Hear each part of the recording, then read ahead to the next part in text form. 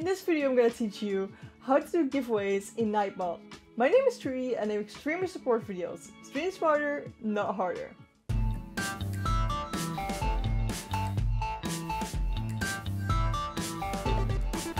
Before I begin, I stream every Tuesday and Friday, 8pm Central European Time on twitch.tv slash. So to set up a giveaway on Nightbot, what we do is we go to nightbot.tv. Go to the top right and click on login.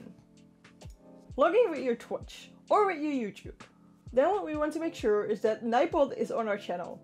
Do that by clicking on join channel. What we need to do now is type slash Nightbot in our chat. So what we can do is just copy this, slash mod Nightbot, close. We can go to our chat by just going to our profile. For me that's twitch.tv slash trui. For you that's twitch.tv slash your own name and then click on chat. And then right here in the bottom right, we just paste slash mod nightbot or type it ourselves and press the enter key and it says that it will be granted. Or if you've already done it, it says that it's already a moderator, but that's also fine. Let's go back to Nightbot. Here on the left side, we see something called giveaways. We click on that. This is our dashboard to set up giveaways. There are multiple ways of doing giveaways. But first, let's say, who can enter your giveaway? Who is allowed to enter? So here we have mods, regulars, subscribers, and users. Users is just literally everybody. Subscribers are the people that subscribe to your Twitch. I believe for YouTube this is the members. Then here we have regulars. Uh, regulars you can set yourself. Those are people that watch you often.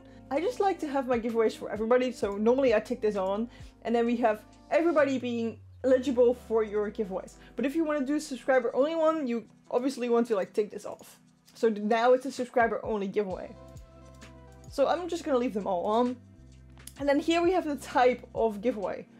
So what we can do is active users. So now if people start typing in the chat, so this is our chat and people start typing in it, they will appear in here. This means that they will automatically be in your giveaway. They will get this dot, like you see here in front of their name, in this list, and you will see, oh, this person is already in the giveaway. You can get people out of the giveaway by seeing the names here and dots in front of them. You can untick those dots and then they will be not in the giveaway. We can also set one on keyword. So let's click on that. Now, instead of just picking anybody who talks in your chat, it will only pick people that say this word. So for example, if you do the word giveaway. I can't type. never. I can never type. Giveaway. So now if somebody says the word giveaway in your chat, they will be in the giveaway. You can still manually get them out of the giveaway if you want to. Okay, so for this last one with the random number, now we have a random number between 0 and 100. You can set these numbers to whatever you want. And um, I did go in with my other account to make sure that um, this user is in. So people get in by just typing the chat like they do by active user. And now, when I click on roll it, uh, we get the number 80. So now it says the giveaway has started. To win, enter the number between 0 and 100. So this, this is 80 right now. So if I go back to my other account and I type 80, boom, uh, I should get it right. Because, you know, that's the number, winning number 80. I'm not sure why it's not picking up the 80 because it says winning number 80 and if somebody would guess it, they would be able to win. And I did guess it obviously because I knew what the number was because I can see it.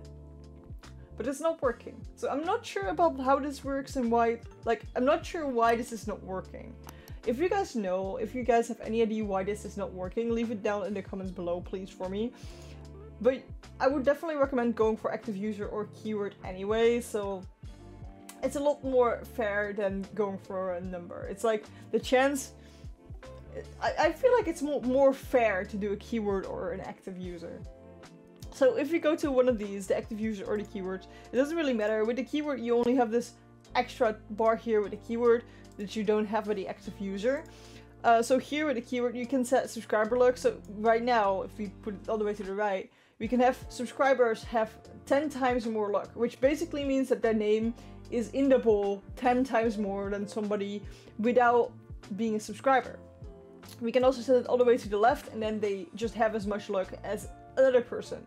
Regular luck, same there. Uh, if you assign people to be a regular, you can give them more luck like you do with the subscribers. And then at the end we have anti-spam. That's automatically um, there just because we don't want people to spend the whole time and just get in multiple times. It's just people get in once, right? And the keyword is obviously the keyword that they need to type if you're going for the keyword type of giveaway. So for example, right now we've got the two bots in, just, you know, you're gonna see, and if we roll it, one of them is gonna win. Um, that's my that's my account, my Dutch account, and they won now. And you will see that in the chat, and you will see it here in the dashboard as well.